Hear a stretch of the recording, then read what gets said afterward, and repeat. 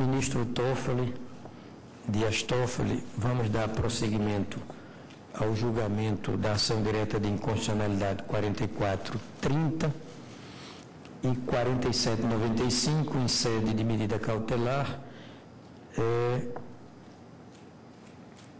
apregoados ontem, relatados e inicialmente julgados com, em conjunto. Vossa Excelência tem a palavra para a prossecução do seu voto. Sim, presidente. Entro agora no tópico oitavo do meu voto, o caput do artigo 17 da Constituição Federal e a equiparação constitucional entre as hipóteses de criação, fusão e incorporação de partidos políticos.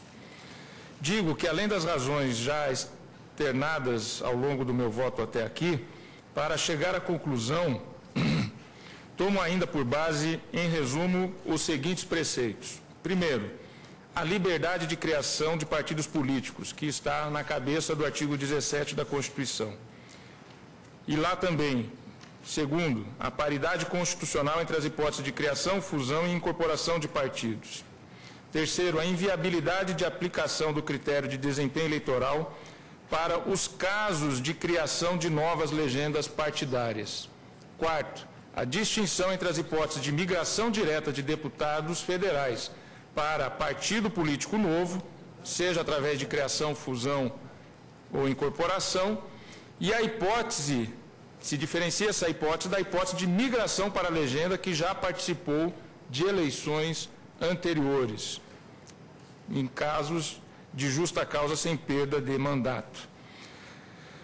Digo que a Carta da República consagra, logo na cabeça do artigo 17, a liberdade de criação, fusão, incorporação e extinção de partidos políticos.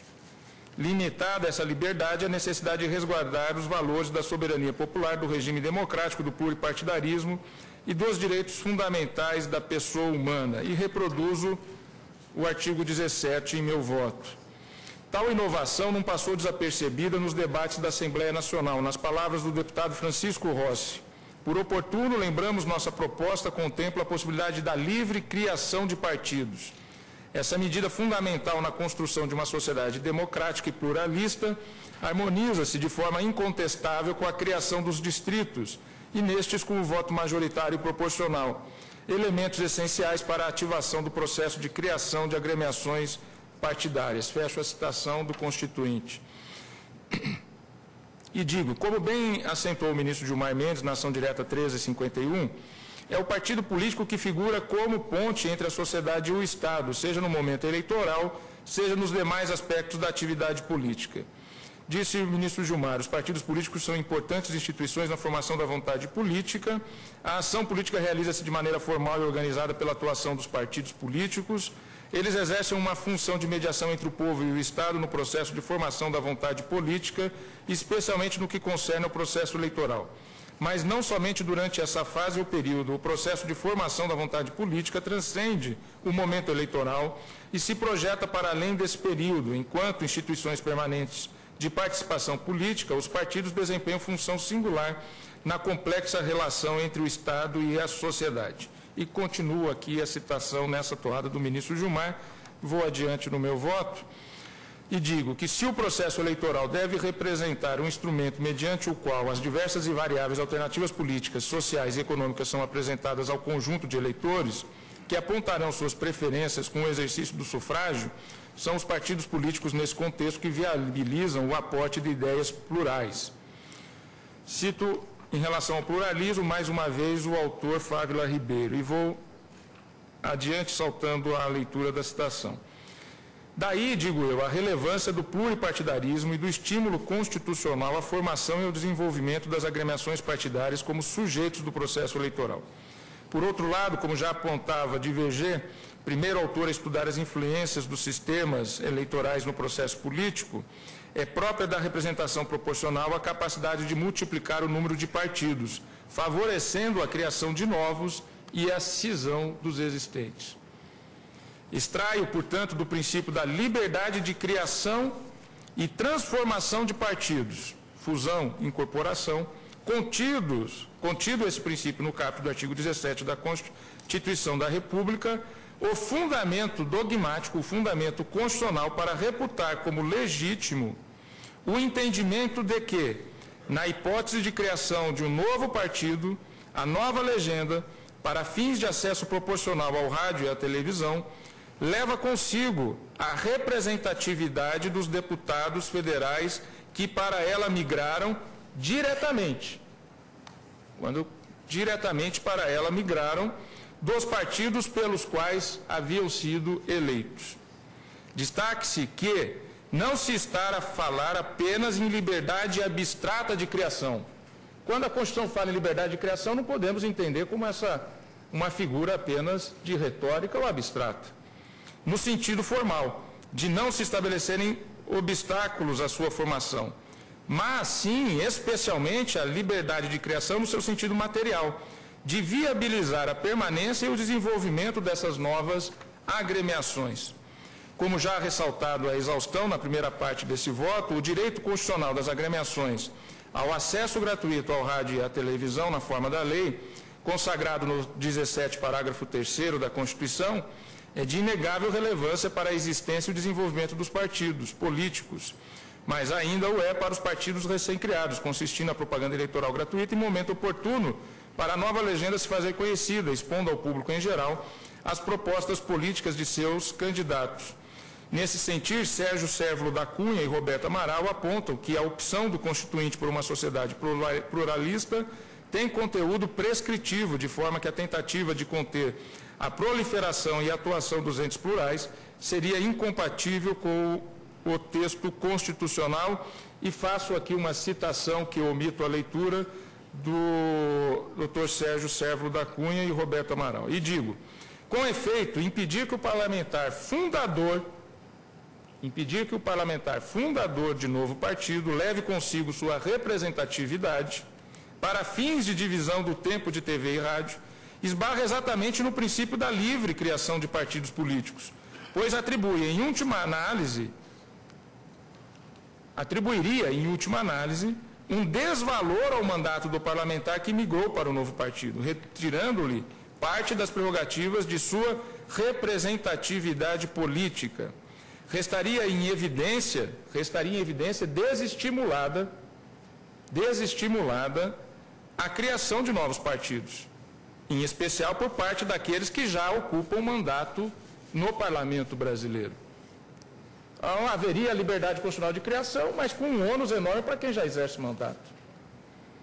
Ressalte-se, ademais, que a liberdade de criação de agremiação foi prevista constitucionalmente ao lado da fusão e da incorporação e extinção dos partidos. Recebeu, portanto, na ordem constitucional, a criação o mesmo tratamento da fusão e da incorporação.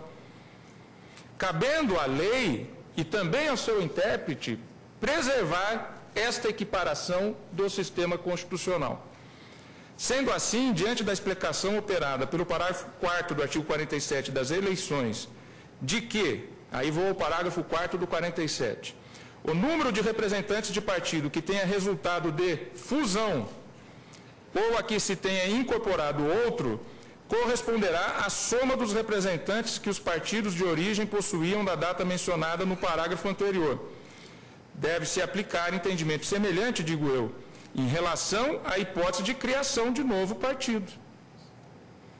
Quando há a fusão ou a incorporação, leva-se o parlamentar aquele aquela representatividade da época da eleição. E vejam que numa fusão de partido pode-se ter um partido A que seja liberal, que se funde com o partido B que seja social-democrata para fundar um partido D com uma, com uma característica, digamos, de partido comunista, por que não, em tese?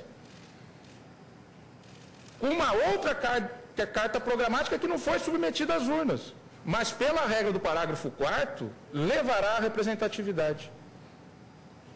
Pois bem, é bem verdade, digo eu, que segundo o parágrafo 3 do 47 da Lei 9.504, a representação de cada partido na Câmara será a resultante da eleição, Segundo essa regra, o número de representantes de cada partido na Câmara Federal, que serve de base para o cálculo de tempo de televisão e de rádio, é aquele definido pela última eleição para deputado federal.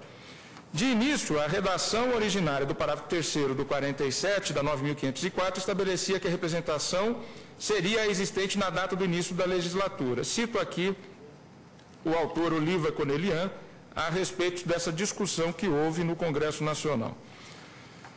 Vou adiante.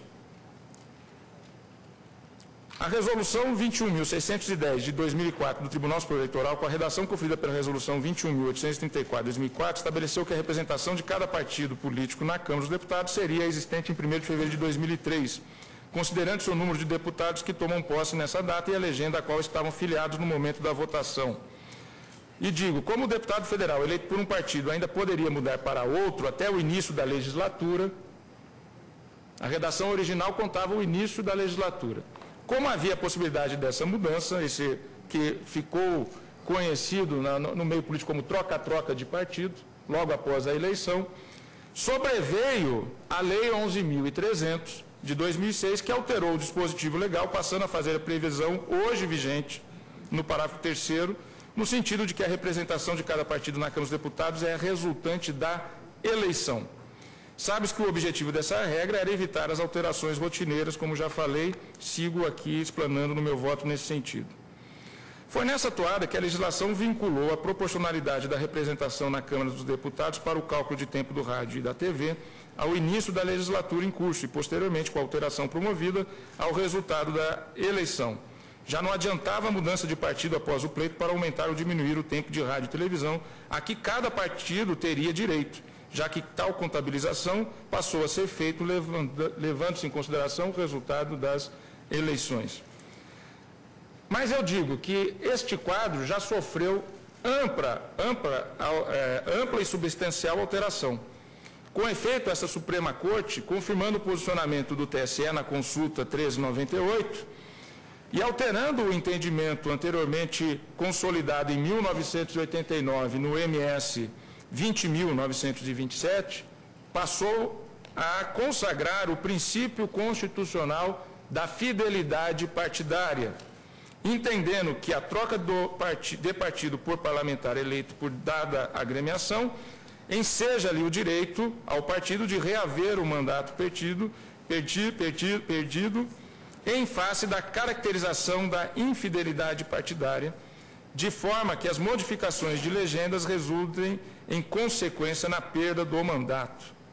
Por outro lado, foram fixadas justas causas, foram fixadas justas causas aptas a legitimarem a mudança de legenda. E dentre estas causas sobressai exatamente o nascimento de novo partido político legalmente constituído no Estado pluripartidário brasileiro e a fusão ou incorporação de partidos. Com esse espírito, em observância ao que decidido pelo Supremo, nos mandados de segurança citados, o TSE, por meio de resolução 22610 de 2007, disciplinou o processo de perda de cargo eletivo, bem como o da justificação de desfiliação partidária, definindo as seguintes hipóteses de justa causa para mudança partidária. Considera-se justa causa: 1. Um, incorporação ou fusão do partido. 2. Criação de novo partido. 3. Mudança substancial ou desvio reiterado do programa. 4. Grave discriminação pessoal. Com efeito, digo eu, se o parlamentar resolve participar da criação de nova legenda ou migrar para novo partido, tudo com a chancela deste Supremo e do Tribunal Superior Eleitoral, em consonância com o pluralismo político e a liberdade de criação de partidos políticos, não há que se falar em infidelidade partidária. Os debates relativos à fidelidade partidária são, sem dúvida, relevantes para o deslinde da questão aqui posta, especialmente no que toca à criação de novas legendas e à legítima migração de parlamentares para o novo partido. Entretanto, a pergunta a ser respondida na presente análise não é se o mandato pertence ao eleito, mandato livre, ou ao partido, mandato partidário. Não se está a discutir a titularidade do mandato mas a representatividade do parlamentar que legitimamente, legitimamente, migra para um partido criado, criado dentro da liberdade consagrada no artigo 17. Ora, se se entende que a criação de partido autoriza a migração dos parlamentares para nova legenda, sem que se possa falar em infidelidade partidária ou em perda de mandato parlamentar, essa mudança resulta, de igual forma, na alteração da representação política do partido originário. Com a criação do novo partido e a mudança desse deputado para o novo partido, dentro da liberdade de criação e da chancela que o Supremo e o TSE deu de que aos partidos, para a criação de partidos não há perda de mandato, o que, que há? Há, em relação ao partido que perdeu esse parlamentar, alteração da sua representação política, sim. Prestigiando a Constituição da República, o pluralismo político e o nascimento de novas legendas não é consonante com o espírito constitucional retirar dos parlamentares que participaram da criação de, novo, de nova legenda a representatividade de seus mandatos e as benesses políticas que dele decorrem. Seria o mesmo que dizer que os parlamentares que migram para a nova legenda não perdem o mandato, mas não mais carregam durante toda a legislatura seguinte, eh, restante, a representatividade que lhes foi conferida pelos eleitores nas urnas. Não haverá autêntica liberdade de criação de partidos políticos se não se, se não se admitir que os fundadores, e volto a dizer, fundadores, de uma nova agremiação que detém um mandato parlamentar, possam contar com sua representatividade para a divisão do tempo de propaganda, desigualando esses parlamentares de seus pares com a exclusão do direito de propaganda proporcionalmente à representatividade de seus quadros. Por sua vez, a lei das eleições, ao adotar o marco da última eleição para deputado federal, para fins de verificação da representatividade do partido, artigo, artigo 47, parágrafo 3 não considerou a hipótese de criação de nova legenda. Essa limitação somente faz sentido quando aplicada aos partidos políticos já em funcionamento, quando da realização da eleição que, embora tenham dela participado, não lograram obter representantes na Câmara dos Deputados. Situação bastante distinta é daqueles partidos políticos que somente foram criados após a eleição já realizada e que, por óbvio, dela não, não participaram. Ora, se o Partido Novo não participou do certame anterior, como poderia ele se submeter a um critério de desempenho?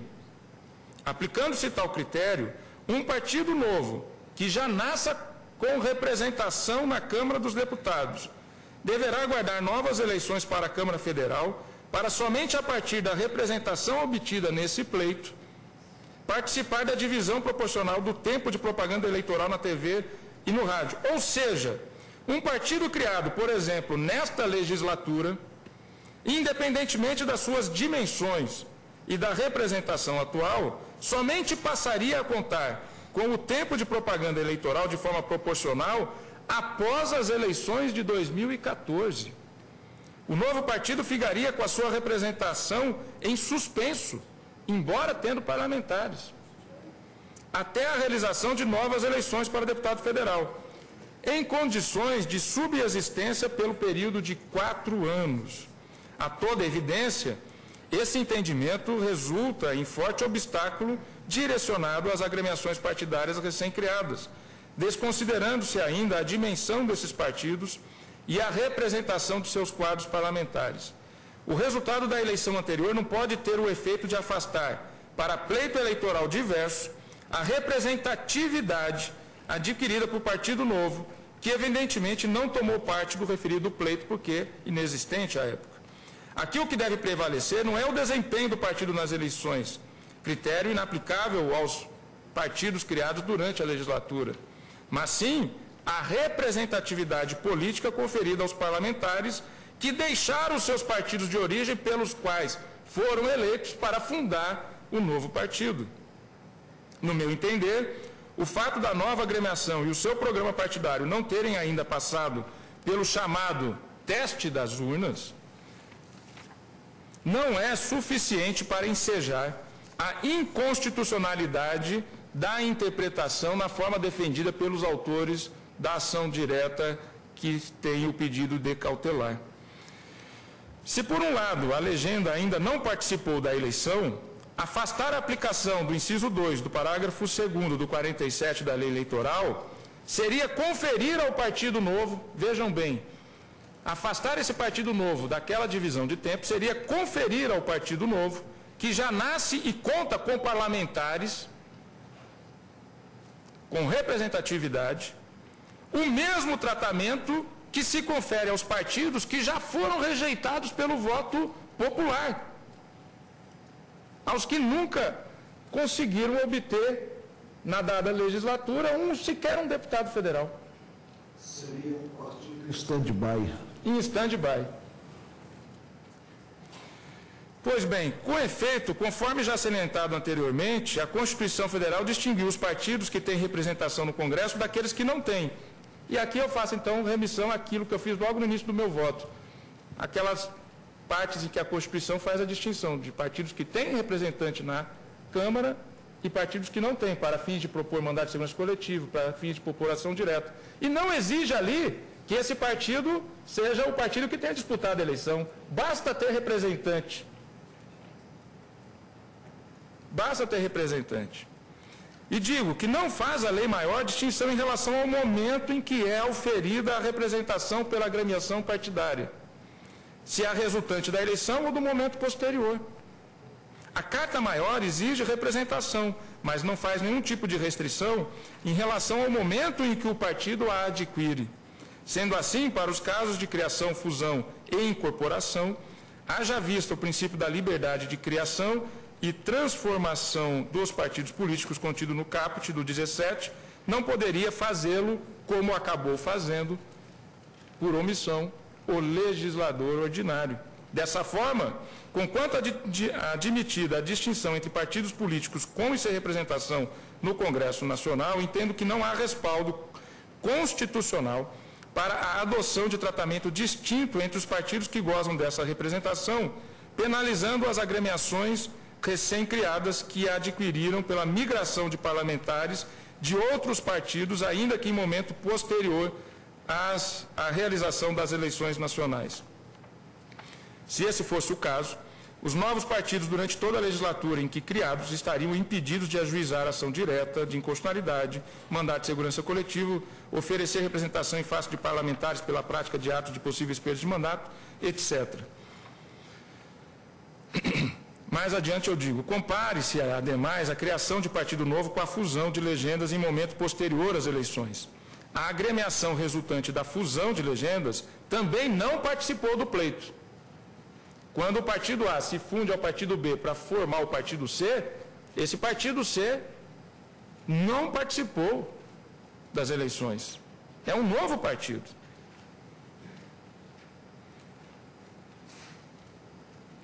No caso de fusão, desaparecem dois partidos para formar um terceiro que não se confunde com nenhuma das agremiações que lhe dão origem, podendo contar com um programa partidário completamente distinto. Não testado na urna esse novo programa, desse partido resultante da fusão de dois outros, ou três outros, ou quatro. Nesse caso, contudo, embora esse partido também não tenha participado das eleições gerais para a Câmara dos Deputados, tal como na hipótese de criação de partido, mas, conforme disposição expressa no parágrafo 4 do artigo 47 da Lei das Eleições, ele preserva a representatividade colhida nas urnas pelos partidos anteriores que o originaram. Não há razão, portanto, para conferir às hipóteses de criação de nova legenda tratamento diverso daquele conferido aos casos de fusão, já que ambas as possibilidades detêm o mesmo patamar constitucional, a cabeça do artigo 17 cabendo à lei e ao seu intérprete preservar o sistema, e dando, portanto, à hipótese de criação o mesmo tratamento que se dá à hipótese de fusão. E aqui a igualdade. Essa última análise, em, em última análise, privilegiar o resultado eleitoral nesses casos demonstra o não vislumbramento da existência de partidos para além das eleições, conduzindo indiretamente a um processo de desmotivação e desmobilização para a liberdade de criação de novos partidos. E essa liberdade está, volto a dizer, insisto, na cabeça do artigo 17, ao lado da fusão e da incorporação. Esclareço, por fim, que o entendimento aqui de, defendido, e aqui eu explicito a conclusão do meu voto para a compreensão dos colegas. O entendimento que estabeleço em meu voto restringe-se aos casos de deputados federais que emigraram diretamente dos partidos pelos quais foram eleitos para a nova legenda criada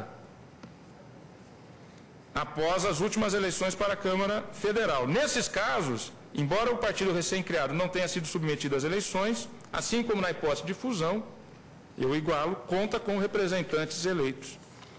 Desse modo, ocorrida a migração legítima de parlamentares para o novo partido, devem eles levar consigo parte da outorga democrática expressa pelo eleitorado, a representatividade dos seus membros, circunstância essa que impõe novo fator de divisão do tempo de rádio e TV.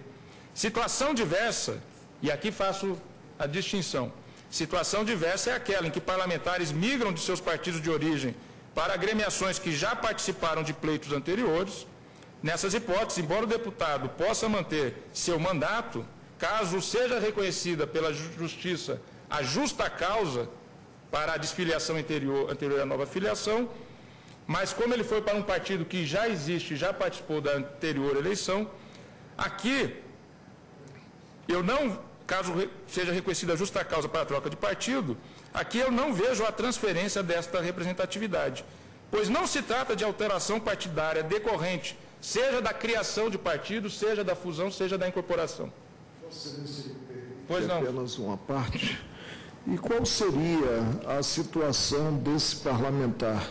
A rigor, ele estaria vinculado a dois partidos ao pretérito quanto à representação para fins de espaço na propaganda eleitoral e ao novo anti migração É que eu entendo que. O sistema aí não fecha. Não, eu entendo. Eu entendo que no caso de criação, fusão e incorporação. Sim, é. Porque está no, no caput do artigo 17, havendo a liberdade dada pela Constituição e a resolução contempla que isso não implica em perda de se a migração, se a migração se mostra legítima, né, surge uma realidade. É o que eu quero distinguir. O partido, o partido pretérito perde a integração desse deputado e ele passa a estar na representação do partido subsequente para o qual Mas ele migrou. O que eu quero dizer aqui, para ir para a situação conjuntural que está é colocada na realidade. Uma coisa é o parlamentar que deixou o seu partido para fazer a criação de um novo partido. Outra coisa é esse novo partido já criado receber um parlamentar que ficou migrando. Concordo com Vossa Excelência, é não devemos encampar o procedimento do paraquedista. É, né, do porque aí ele está indo para a liberdade de criação. É esse, é, Talvez eu não, tenha, não tenha ficado claro eu percebi agora, eu percebi o raciocínio essa, da Excelência. É essa distinção que eu quero é. fazer. Agora, se a migração se mostrou legítima, né, claro que essa nova realidade precisa ser considerada, sob pena de nós apontarmos que um parlamentar pode ter dupla vinculação. Vamos imaginar, vamos imaginar um partido que foi recém-criado nessa legislatura, o PSD. Ele já foi criado e já houve 30 dias já decorreram os 30 dias que a Justiça Eleitoral concede para sim, sim. aquela migração. Se alguém migrar hoje para este partido, essa migração de hoje não contaria para tempo de, de rádio e televisão. É, 30 dias. É, exatamente. É essa a distinção que eu estou fazendo. Ministro. Para evitar que isso vire uma moeda de troca entre partidos, migrações, para se contar a representatividade. Agora, o que eu não posso obstar, no meu entender, é que a criação de partidos tire a representatividade aí, do parlamentar, aí, porque isso inviabilizaria uma liberdade dada pela pelo menos nós dois estamos de acordo. Né? É essa distinção a nova realidade, o novo partido, né, ele precisa ser Ou seja, a representatividade que é levada é só daqueles que criaram o novo partido na forma que a Justiça Eleitoral aceitou. Fundadores. Só os fundadores. E quando o preceito se refere, Sim, se refere à representação, se refere, logicamente, considerada a ordem natural das coisas, a uma representação legítima. Ministro Toffoli. Eu concordo com Vossa Excelência. Eu peço velha a Vossa Excelência, mas eu gostaria de indagar.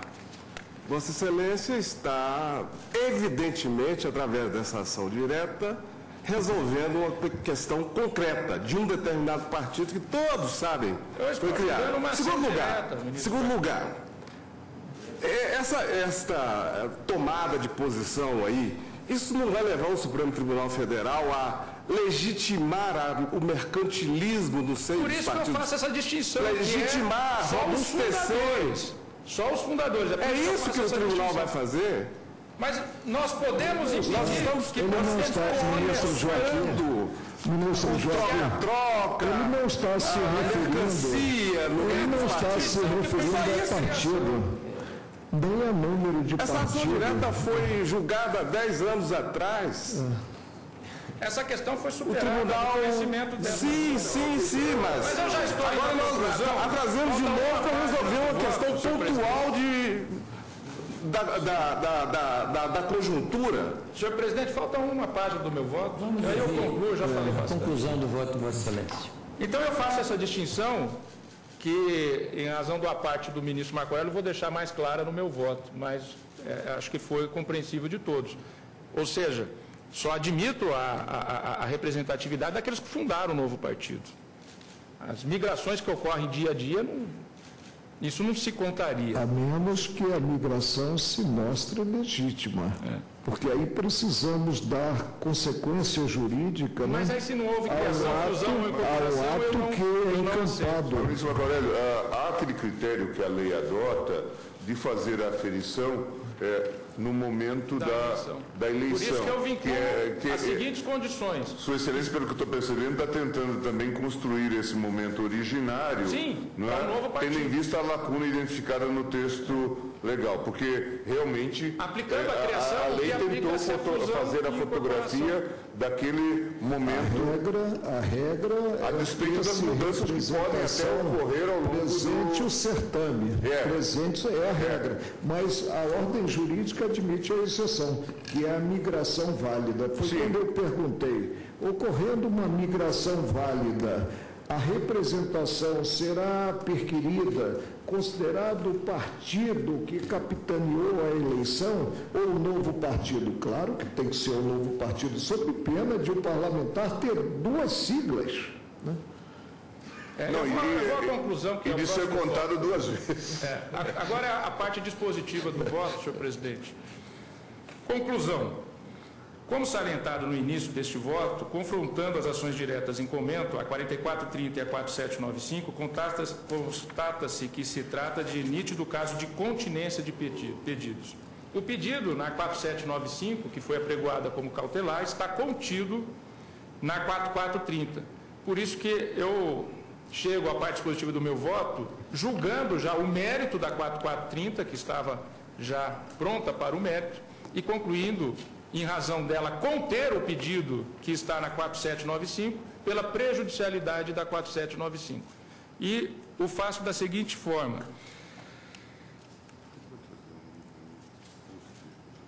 Nesses termos, na medida em que o pedido maior, veiculado na ação direta 4430, autoriza o juízo de constitucionalidade sobre os vários sentidos do texto impugnado, inclusive aquele contido na 4795, Julgo parcialmente procedente a ação direta 4430 no sentido de julgo parcialmente procedente a ação direta 4430 no sentido de, primeiro, reconhecer a inconstitucionalidade da expressão, entre aspas, e representação na Câmara dos Deputados.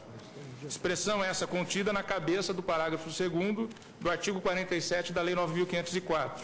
Dois, dar interpretação conforme a Constituição ao inciso 2 do parágrafo 2 do artigo 47 da mesma lei, para o quê? Para assegurar aos partidos novos, criados após a realização de eleições para a Câmara dos Deputados, o direito de acesso proporcional aos dois terços do tempo destinado à propaganda eleitoral no rádio e na televisão, considerada, aí vem a distinção, considerada a representação dos deputados federais que migrarem diretamente dos partidos pelos quais foram eleitos para a nova legenda na sua fundação.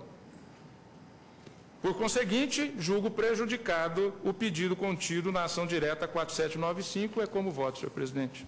Presidente, apenas para expor uma ótica, nós não podemos em si potencializar o surgimento de um novo partido.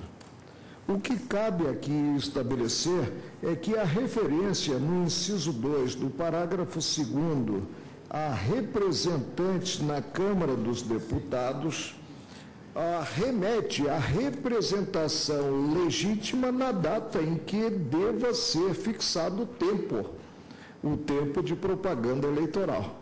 Porque senão nós estaremos, de certa forma, privilegiando apenas os partidos novos e olvidando que outros partidos, após o certame, após as eleições, tiveram um aumento sob o ângulo da representatividade. De duas, uma, ou a migração é legítima e, consequentemente, a representação deve ser observada, ou não é legítima, mas se resolve em outro campo. Agora, o que não podemos é, a um só tempo, admitir que possa haver a migração e que, ocorrendo essa migração, surgirá algo incongruente, pelo menos sob a minha ótica, que é ter-se a consideração do partido do qual se saiu, né? ah, quanto àquele deputado e esse deputado que migrou ter uma nova legenda. É, eu, eu, eu, eu tenho me debruçado sobre esse tema e realmente é um caso desses que demandaria talvez maior é, aprofundamento mas eu tenho a impressão é, é, que, diante da própria legislação, a legislação se acautelou quanto àquilo que o ministro. Eu, por exemplo, eu seria, eu seria favorável, presidente, eu, eu penso que certos temas precisam amadurecer para chegarem ao Supremo. Né? Eu, por exemplo, seria favorável ao enfrentamento dessa matéria pela jurisdição civil eleitoral. Não, eu também. A jurisdição eleitoral suspendeu o processo que lá tramitava para vir resolver pela via da ação direta. Não, lá, não, lá, nós não decidimos, não. Foi o que eu li, né? Agora não, por último não, porque... Eu li que houve a suspensão houve, de um julgamento. Houve, nós discutimos a participação no fundo, no fundo partidário, né? E houve um pedido de vista do ministro Toffoli. Né? Eu, eu, eu, eu também é, compartilho dessa sua é, preocupação, exatamente porque é um caso em que nós estamos a fazer é, é, um certo, vamos dizer assim, um certo experimentalismo institucional. É, e eu, é, é, para legislar. Isso, e veja, e, e eu acho que o próprio legislador de certa forma, atento a esse ponto para o qual chama a atenção o ministro Joaquim Barbosa, é, tentou a, adotar um antídoto contra é, é essa a, a visa atrativa, essa, esse transfugismo, ao dizer que o momento de definição era aquele da eleição. E não, na, para, para fins de é, fixar. A propaganda eleitoral, isso houve no primeiro passo. Depois veio a normatização de 2000 e 2000, 2006, que mudou o critério. Abandonou, para... abandonou e aí simplesmente determinou a consideração da representação. Representação em que data? Na data em que deva ser distribuído o tempo. Não, não. Não, não, o dispositivo fala a data da eleição. Agora é para a data Qual da eleição, parágrafo terceiro. parágrafo terceiro do 47. E como ele é aplicável no caso de fusão e incorporação... Já é uma vacina, uma vacina é. contra a, a, qual é a problemática do meu voto? O artigo 17 é. trata igualmente fusão e respeito de legitimidade ou não. Porque a, a minha percepção, é, diante do critério é, que nós temos adotado e que de alguma forma tem uma certa validade quanto, é, pelo menos em termos mais ou menos é, gerais, também no direito comparado, quanto à chamada igualdade de chance ou igualdade de oportunidades, é que o referencial é o peso é, parlamentar, né? é o peso da representatividade. Há aquele mínimo mas depois tem que se seguir a importância, o critério, etc. Agora, pode ser um critério artificial, é, essa função jurídica. Não é? E aí, então, talvez deve. A minha percepção é de que aqui nós teríamos que encontrar uma a, a solução é, que não pudesse ser a da equiparação desse partido com um peso determinado, de, de representação parlamentar, com aquele que eventualmente não tem ni, eh, sequer um representante. Portanto, colocá-lo eh, na vala inicial, né? isso não pode, não, não, ao mesmo tempo... Isso não... só viabilizaria, como eu disse no dia de ontem, né? uma, uma majoração do aluguel, considerados os partidos que nós temos que reconhecer com desassombro, né? são partidos de aluguel. Sim. Se, Agora, eles, é. se eles tivessem um tempo maior, claro que a negociação seria em um patamar Evidente. mais elevado. Ao mesmo tempo, daí colocar, a distinção. É, é, daí a distinção. colocar esse partido que tem um peso parlamentar é, específico nessa mesma vala parece absolutamente é, daí a norma distinguiu é, um terço distribuição é, igualitária. É, ao mesmo tempo, né, também não se pode dar a ele o peso da representação parlamentar é, que ele agregou ao longo do tempo. Daí me parece, pelo menos é, a guisa de, de, pensamento inicial, que a fórmula do eminente relator parece pelo menos adequada no sentido de encontrar um momento, que é esse momento da fundação. Teríamos que fazer, talvez, é, é, algum tipo de experimento. A minha percepção é de que, de fato, aqui, é, no fundo, precisa de uma solução intermediária, que é difícil de fazer em âmbito judicial. Não é?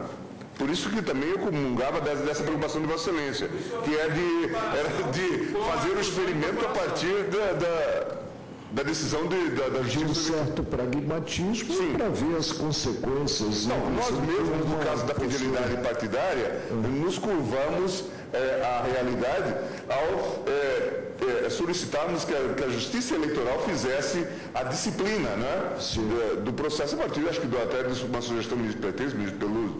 Então, me parece, mas é, é, é eu só estou tentando pensar alto em relação é, a essa temática. Bem, as ideias estão postas preambularmente é, em termos de debate, mas vamos à coleta dos votos. Ministro Toffoli, só para deixar um pouco mais claro. Quanto ao mérito, Vossa Excelência colocou todo o seu foco na DIN 4430. Isso. Porque veio a concluir pela prejudicialidade Isso. da DIN 4795. Ela contém tudo o quanto debatido também na 4795. Por isso eu julgo nela que já está pronta para o mérito e julgo prejudicada a 4795. Por isso, Vossa Excelência, no mérito, julgou inconstitucional a expressão, aspas, e representação na Câmara dos Deputados. Isso. Isso está no parágrafo 2 do artigo 47 da Lei 9.504. Vossa Excelência julgou constitucionais os incisos 1 e 2 do parágrafo 2 deu interpretação conforme. E, finalmente,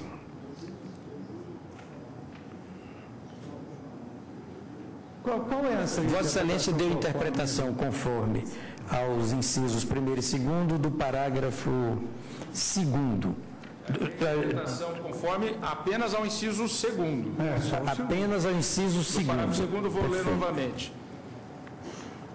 Dar interpretação conforme a Constituição, Federal, a Constituição Federal ao inciso 2 do parágrafo segundo do artigo 47 da mesma lei, para assegurar aos partidos novos criados após a realização das eleições para a Câmara dos Deputados, o direito de acesso proporcional aos dois terços do tempo destinado à propaganda eleitoral no rádio e na televisão, considerada a representação dos deputados federais que migrarem diretamente dos partidos pelos quais forem eleitos para a nova legenda na sua fundação. Ou seja, parlamentares detentores do status de fundadores, fundadores. do novo partido. Isso esses serão aquinhoados né, com a possibilidade de compor a bancada do novo partido para todos os fins e efeitos. É, ou seja, uma migração hoje, mesmo que com justa causa, mas é. sem ser para a criação originária, não levaria essa representação do tempo de rádio e televisão. O que eu, eu entendo que estamos fazendo apenas e tão somente em razão da igualdade que o caput do 17 dá entre incorporação, fusão e criação, e a lei dá, no caso de fusão e de incorporação, a aplicação desse tempo, fazer a mesma coisa na hipótese de criação. Entendi bem. A ministra Rosa Weber, portanto. Como se trata apenas de criação, então só aqueles que migraram quando da fundação. Inicia a votação deste processo, após o voto do relator, evidentemente. Senhor presidente, senhores ministros, ontem, quando Vossa Excelência me deu a palavra para votar de forma fatiada, eu comecei afirmando que estava na forma fatiada, acompanhar o eminente relator no que tange a inconstitucionalidade da expressão contida no caput do parágrafo 2 do artigo 47, no que tange a e representação na Câmara dos Deputados. E o fazia porque entendia violado, afrontado diretamente o artigo 17, parágrafo 3 da Constituição Federal, quando assegura a todos os partidos políticos o direito de antena. Ou seja, a todos os partidos sem qualquer exclusão. Mas isso, senhor presidente, aí interrompemos porque Vossa Excelência colocou em votação se nós iríamos examinar de uma maneira fatiada ou de uma maneira, né, fazer um exame conjunto. Eu confesso a Vossa Excelência que fazendo a leitura em bloco do parágrafo 2 né, contemplando os seus incisos 1 e 2, se eu interpretar de uma maneira sistemática, de uma maneira conjunta, a, a norma, o dispositivo do inciso 1, eh, como pertinente a uma distribuição de um terço do tempo no rádio e na televisão de forma igualitária a todos os partidos políticos, como tem sido feito por todos, inclusive os que ajuizaram essas ações, mas como também é feito pela, pela Justiça Eleitoral, na sua resolução, ela trata de, das eleições de 2012 na resolução 23.370 e ela confere essa interpretação, ela divide o tempo dos partidos políticos de irmamente, todos eles tenham ou não representação, né, e apenas uh, vincula a representação na Câmara de Deputados a divisão dos dois terços, proporcional, sim, aí aos integrantes da bancada. Então, se eu pudesse interpretar o caput do artigo, uh, do parágrafo 2 como dizendo respeito aquela a representação da Câmara dos Deputados apenas ao inciso 2, eu não vislumbraria inconstitucionalidade a declarar. Eu não vejo, com todo respeito, qual seria a utilidade, uma lei desde 97, que está aí, que está sendo interpretada por, to por todos, está sendo aplicada por todos, assim está sendo aplicada pela Justiça Eleitoral, e nós, com todo respeito, iríamos a uma, uma declaração de inconstitucionalidade, embora sem dúvida alguma, acompanho o ministro Toffoli quanto à violência ao direito de acesso, ao princípio do acesso de todos, né, da igualdade de acesso dos partidos políticos, que eu reputo fundamental. Eu não tenho dúvida que o inciso primeiro, de fato, afronta né, nesta leitura, ou seja, que o caput diga, perti, seja pertinente ao inciso 1 e ao inciso 2. Com relação à proporcionalidade, à vinculação da proporcionalidade apenas aos partidos políticos com representação na Câmara dos Deputados, eu não vislumbro inconstitucionalidade, porque entendo que a verdadeira igualdade está justamente em tratar desigualmente aos desiguais. E aqui o Constituinte estaria, o, o legislador estaria tratando desigualmente aqueles partidos que já obtiveram, né, pelo referendo do, do, voto, já obtiveram a representação na Câmara dos Deputados. Então, eu não vislumbraria inconstitucionalidade. Mas, a se interpretar que a representação na Câmara dos Deputados pertine aos dois incisos, aí eu acompanho o ministro Toffoli. Não fecho questão, acho que poderíamos deixar como está, não teria maior dificuldade. Com relação ao parágrafo 5 parágrafo 6 do artigo 45, se bem me recordo, o que diz com a possibilidade de aproveitamento de imagens, de voz e imagens de candidatos de, de coligações ou partidos de âmbito nacional nas eleições regionais, eu endosso na íntegra o voto do eminente relator, não vislumbro, ao contrário, vislumbro uma valorização, um reforço ao caráter nacional dos partidos, não vejo afrontado de forma alguma quer o princípio da legalidade, quer o princípio da moralidade, até porque, muito bem destacado da tribuna, ontem pela AGU, de que, na verdade, princípios que dizem com, com a administração pública, no caso, partidos políticos, pessoas jurídicas de direito privado, ou seja, endosso na íntegra o voto do, do eminente relator. Mas confesso, uh, senhor presidente, a minha grande dificuldade em acompanhar o eminente relator no que pertine à ação a, esta, a ADI a 4795. Sua Excelência afirma. Isso. Em razão de estar haveria continência. E eu tenho grande dificuldade, porque é uma ação que objetiva, pelo menos eu tenho aqui, né, estava atenta, na verdade, o eminente relator trouxe para o exame da cautelar. É, da cautelar. Ontem a disse da tribuna, inclusive, que sequer ainda, por óbvio, teve conhecimento. E o que se busca? Se busca uma interpretação nessa segunda, nessa que estaria prejudicada, uma interpretação conforme que, na verdade, inviabilize a interpretação de que partidos políticos criados depois das últimas eleições participem dessa uh, divisão dos dois terços. Né? É esse que é o objetivo. E o objetivo da cautelar seria sustar a possibilidade dessa interpretação até o julgamento definitivo. E por que a minha dificuldade, embora eu compreenda as razões e a juridicidade do que aqui foi proposto, porque aí eu comungo com, a, com, a, com, a, com o entendimento do ministro, ou a preocupação externada pelo ministro Marco Aurélio, também pelo ministro Gilmar, no sentido de que as coisas, do meu ponto de vista, essas interpretações, elas devem ser sedimentadas. Eu iria, Ministra, deixaria num primeiro. A, a Vossa Excelência vai, é, só me perdoe a pergunta, porque dependendo da, da sua resposta, eu vou adotar uma postura ou outra. Vossa Excelência vai concluir o voto? Pretende concluir em seguida o voto? Não, porque se Vossa Excelência for concluir em seguida o voto, eu só iria fazer uma ponderação. É, a Suprema Corte ela tem sido, digamos assim, acusada de exercer uma certa supremacia judicial em relação ao parlamento. Mas a verdade é que no nosso sistema, diferentemente dos sistemas estrangeiros, a nossa corte, como o ministro Marco Aurélio suscitou bem, ela não tem o poder de não decidir uma causa que não esteja madura ainda, que haja ainda um dissenso razoável. Pois bem.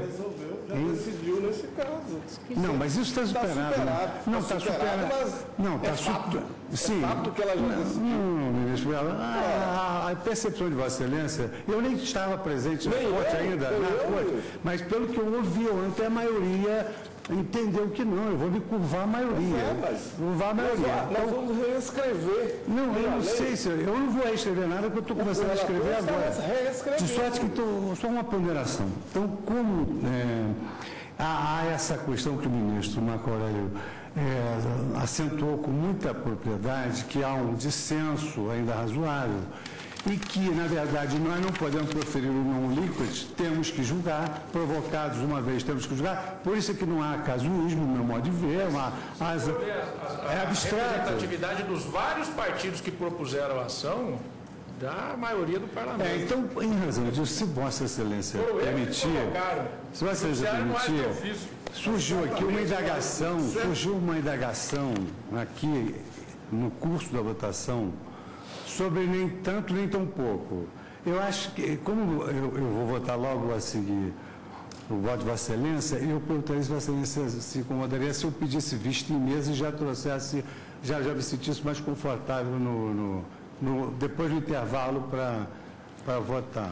Não, não tenho nenhuma dificuldade que Vossa Excelência peça a vista em mesa e que eu vote depois. Ao contrário, as luzes de Vossa Excelência seguramente vão iluminar o meu caminho. Espero, pelo menos. Não, não, não vou votar antes Vossa Excelência, não. não. Só vou pedir vista em mesa para tentar chegar a uma, um consenso aqui em relação a esse, é, essa, só... nem tanto nem tão pouco. Seria bom também termos a presença da presidente do Tribunal Superior Eleitoral, é, essa, questão, essa questão eu não deixaria. ouvir a presidente do. Não, essa questão eu deixaria para o presidente, que tem a prerrogativa de encaminhar o. A ministra Carmen está em objeto de serviço.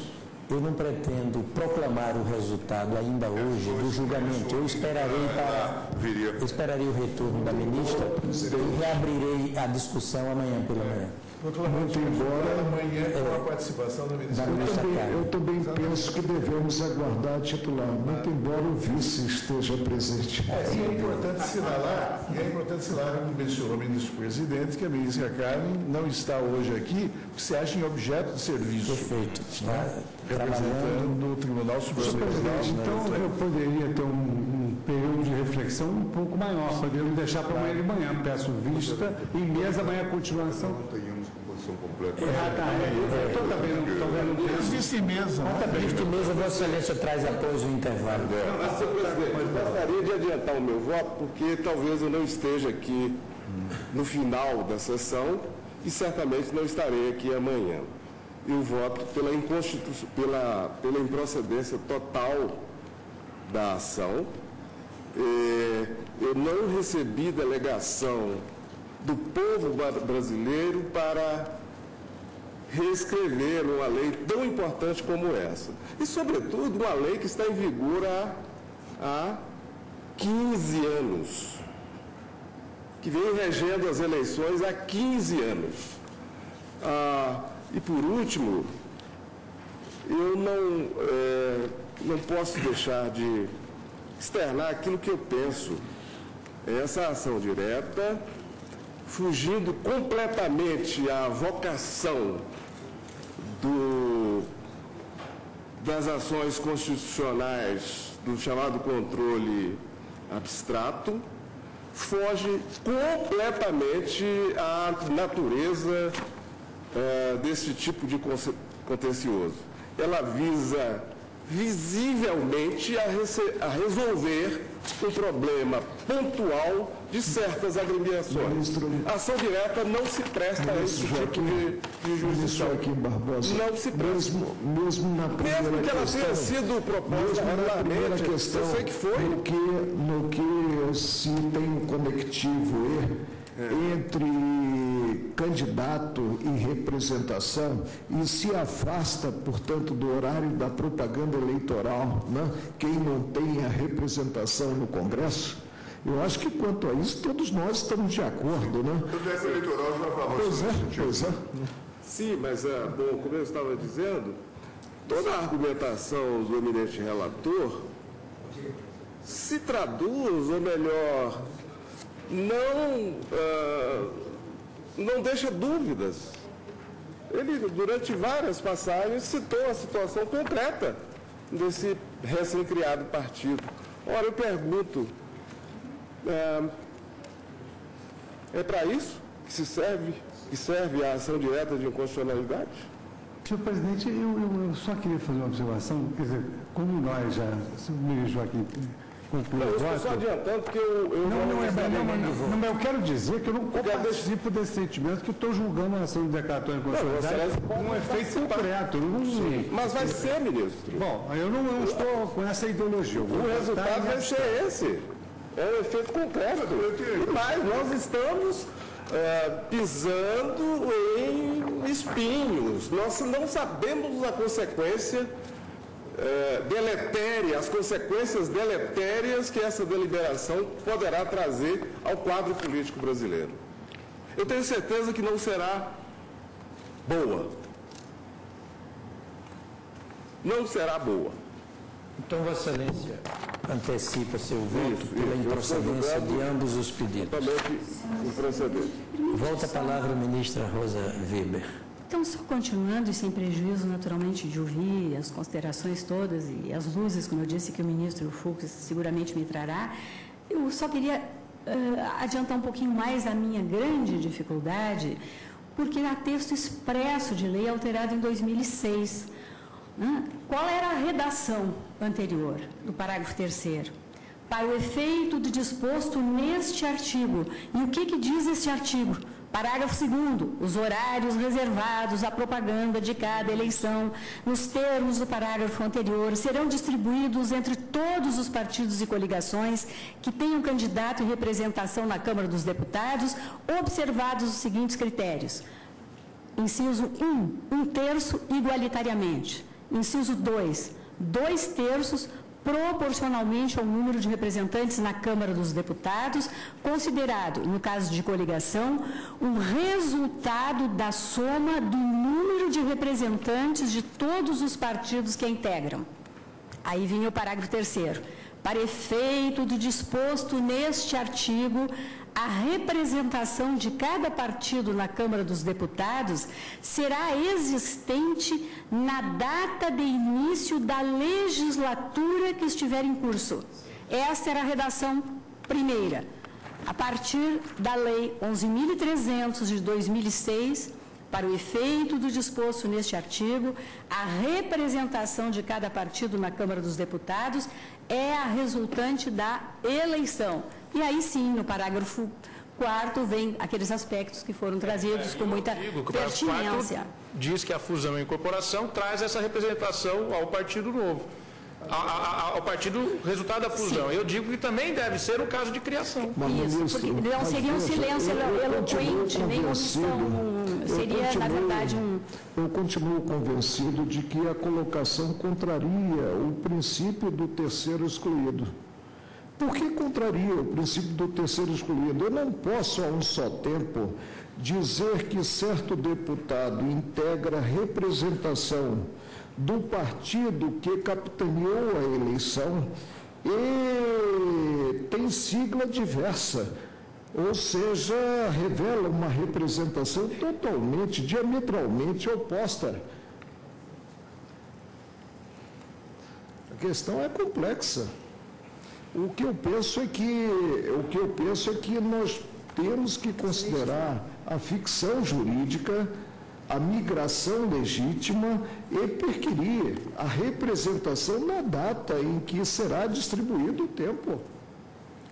Ministro Marconelli também é. Porque senão, senão eu, eu agasalho a migração e digo que essa migração tem efeitos relativos quanto à representatividade daquele partido para o qual né, o parlamentar migrou.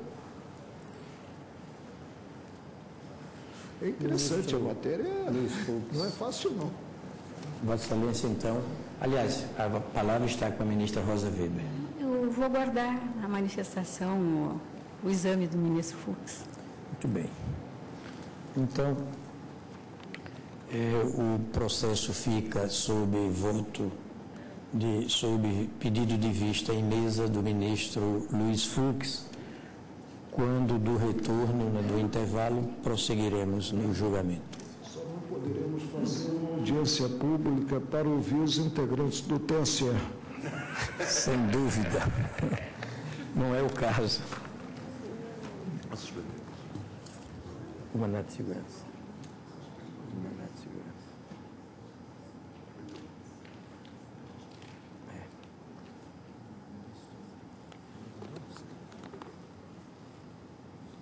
Bem, eu acho conveniente suspendermos a sessão para possibilitar maior tempo ao ministro Luiz Fux no quanto ao seu pedido de vista em mesa. Suspendo. Tem um voto vista que está pautado. Meu voto não é longo. O voto vista de Vossa Excelência, um momento aqui. Naquela questão do. Bom, o meu não é longo, pode ser que haja é a questão da previdência, complementação de aposentadoria, previdência privada. Eu acho que o tema, demandaria uma discussão mais alongada. Isso julgamento há décadas. Como hoje é o último dia. É, é, esse é um caso, eu acho que é um caso realmente relevante que já aguarda algum tempo uh, uma solução, porque é aquela questão de competência, né? Competência. da justiça do trabalho, da justiça. É só, somente quanto à definição da competência. Não, mas falando essa questão da. da... Não, o quórum está completo para decidir uma questão tão difícil. Não, eu acredito que vai haver divergência tão profunda. Essa questão complementar da, é, é da, da, da, providência complementar, né? E há, todos os gabinetes têm muitos processos. Se a razão da ministra linguística utilizada na questão anterior foi a mesma, nós temos que aplicar o mesmo critério. Eu acho que não, não, acho que não temos... Não, não, é, desculpa, a ministra Carmen ontem é. tinha pedido que a, a proclamação do resultado não. só se desse com a colheita do seu voto nessa amanhã. Não, não independentemente do pedido. não, eu não estou... Não, é pedido. É questão da relevância da matéria. Eu sei que a ministra Carmen Lúcia tem uma posição muito sedimentada sobre essa questão da competência da Justiça Federal e da Justiça Estadual, eh, Trabalhista e Federal, e eu acredito que, dada a relevância da matéria, seria também importante que o quórum fosse completo, estivesse completo. Só falta. Falta o que? Um voto. A ministra Carmen já proferiu o voto? Ministra Carmen, já. Que essa questão não pode ser resolvida pois não, pois não. sobre a competência da Justiça Federal. Não, nesse caso sim. Pensei que a questão fosse nova, um ponto de vista novo, uma perspectiva nova. É só isso. É que envolve suspensão de muitos processos. Muitos processos estão suspensos. Já que existe consenso, requestão. Então, senhor presidente, eu, eu,